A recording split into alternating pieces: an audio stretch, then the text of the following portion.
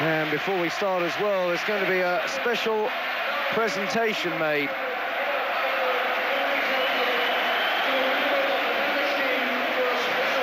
And it's going to be the result of a moment of fair play. The fair play jury from UEFA have decided that Jon Dahl Tomasson, for making a, an excellent gesture in the game against France, when Patrick Vieira fell down injured, his teammates, unaware of the situation, carried on playing. The Danes won the ball, and Tomasson immediately kicked the ball into touch to allow the French player to receive treatment. And UEFA acknowledging that sportsmanship with a special fair play presentation.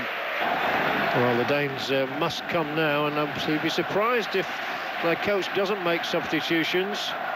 As the ball is won for Deschamps to give it down the right for Thuram.